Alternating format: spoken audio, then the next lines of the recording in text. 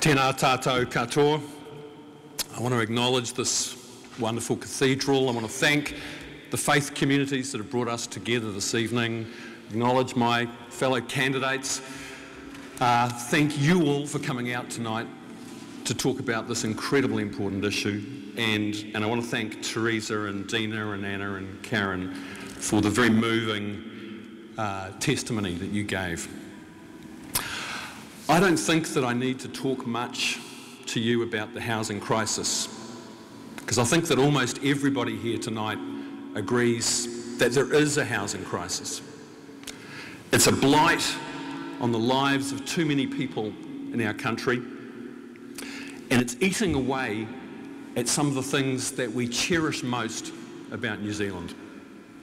The idea that everybody should have shelter that decent housing is a human right, that good, affordable housing provides security and opportunity. And the question that we have is how do we fix this thing? The good news is that it is fixable. But we need political will, we need courage and sustained reform and we need to reject the tired, failed neoliberal policies that got us into this mess in the first place.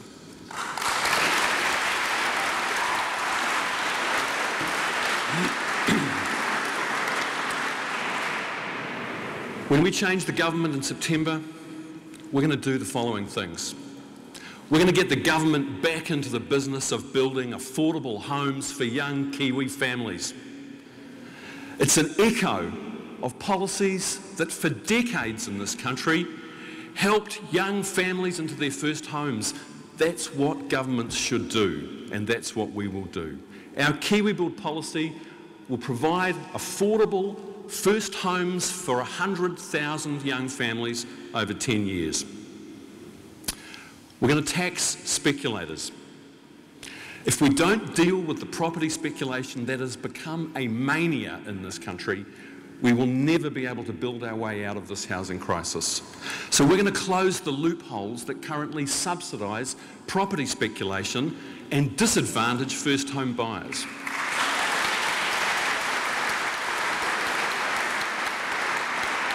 We're going to change the law so that if you sell a rental property within five years, you will pay income tax on the capital gain. It's the right thing to do. We're going to rewrite the rules for renting, Karen. Half the population in this country are renters. And yet this country gives fewer rights than almost any other country in the Western world to renters. Under our government, renters will have more security of tenure. It's not okay that you can be kicked out in 90 days for no reason. We're going to change the law so that renters have the right to own a pet, put up a shelf or paint a wall as long as they return the property to the state it was in when they took on the tenancy. That's how they do it in Germany and most European countries. Why not do it here? I want to talk about state housing because the current government believes that state housing is some old-fashioned thing from the 1930s that we don't need anymore. And they want someone else to do it. They want the churches to do it. They want the private sector to do it. The Labour Party believes that state housing is as needed and relevant now as it has been at any time since the days of Michael Joseph Savage.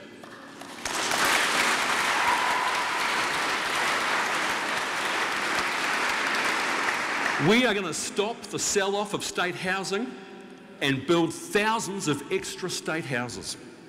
Under our government, Housing New Zealand will be run as a public service, not used as a cash cow.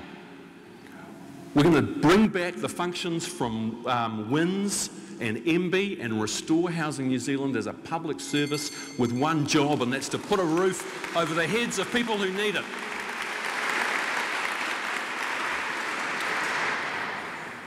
I promise to you tonight that our government will make a commitment to end homelessness. We will work with the community We will work with everybody who wants to work with us to develop a New Zealand strategy to end homelessness.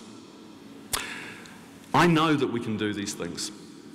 Our parents and grandparents fixed these problems. There are lots of countries overseas that simply don't have the out of control property speculation, skyrocketing house prices, plummeting home ownership, and record levels of homelessness. I know that we can fix these things. But you need to choose decisively change next month. If you want to fix the housing crisis, party vote Labour for a progressive, reforming, social democratic government that will work to fix the housing crisis. Do it for your children, your grandchildren, and do it for our country. Thank you.